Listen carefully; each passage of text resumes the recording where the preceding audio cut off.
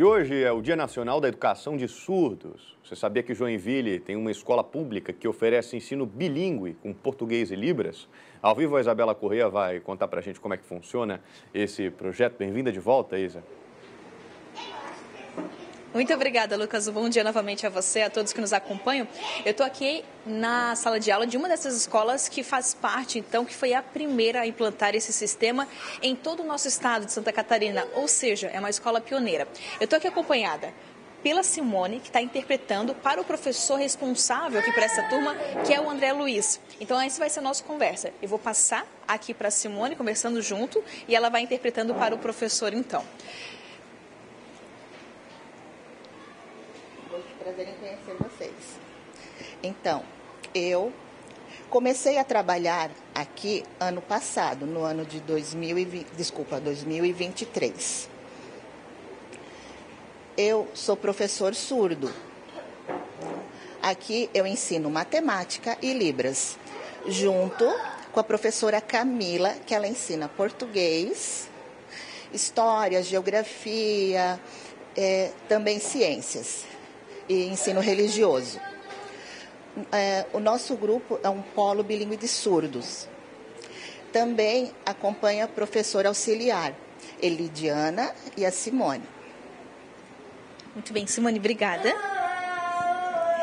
E eu já vou conversar também com a diretora, a Ilma, que está aqui também, para a gente entender como que funciona esse trabalho aqui. Porque a gente disse que é pioneiro aqui nessa unidade, né, diretora? Um bom dia para você. Bom dia. O projeto é um projeto da Rede Municipal de Ensino que acontece desde 2018. Hoje nós somos três unidades na rede e atendemos desde a educação infantil até o ensino fundamental. Aqui na nossa unidade são contempladas 30 crianças. Também temos libras para os ouvintes, comunidade e professores. Diretora, e como que tu vê a importância de ter esse trabalho aqui?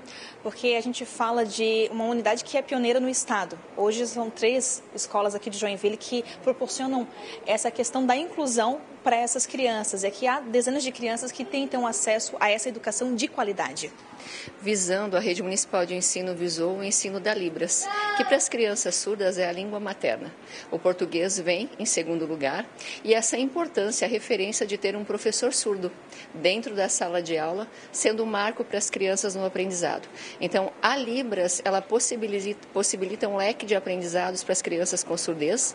Isso né, já é, é, tem pesquisas há longos anos que a criança surda precisa da referência na sua língua materna, que é a Libras. Diretora, são cerca de quantos alunos surdos hoje aqui nessa unidade? Nessa unidade nós atendemos 30 crianças. Educação infantil, primeiros e segundos anos, né, nesta turma, e terceiro ao quinto no turno vespertino. Muito obrigada pela entrevista. Vou voltar a conversar com o professor André Luiz, com a ajuda da Simone, que está fazendo toda a interpretação para a gente, auxiliando. Eu até conversava antes que quando eu estava na escola, na primeira série, eu estudava com uma colega surda e nós tivemos também aula de Libras e isso é muito importante. Eu ainda lembro de alguns sinais, como o oi, é bonito. Então, como é essencial hoje, né, para dar ainda mais essa abertura e esse acolhimento, seja na escola, no mercado de trabalho, quando essas crianças crescerem e mais à frente para a sua vida pessoal.